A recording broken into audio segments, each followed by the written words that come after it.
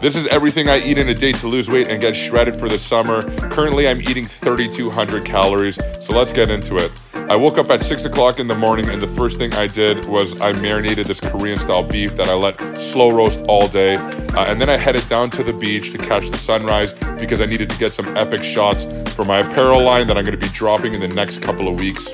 After that, I headed to the cafe. I got some work done. I studied for my CFA, and then I ate my first meal of the day, which was one pound of peameal bacon.